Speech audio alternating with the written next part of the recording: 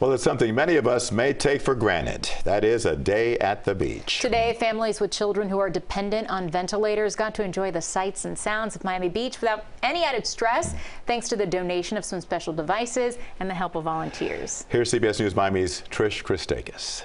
Well, it was a day for kids to be kids. Check it out, enjoying time on the beach, swimming, flying kites, and more, is something these children with special needs do not get to do as often.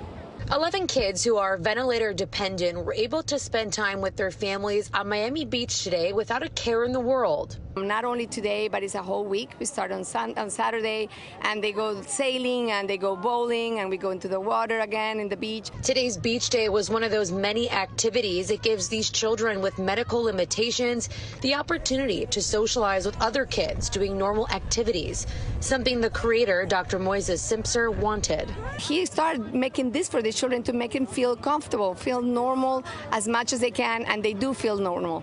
We started coming here in 2016, so we've gotten to know a bunch of the families and connected through social media, obviously, too. So it's great to see their miracles happening, too, even when we leave camp, and then to reunite again the next year is great. It's something these families and the Miami Beach Fire Department look forward to yearly. Chance for us to interact with people when it's not an emergency, and especially with some of these families that have traveled so far, it's something that you know is gratifying for us, and it, it's it fills us with happiness, joy to be able to give back and help out.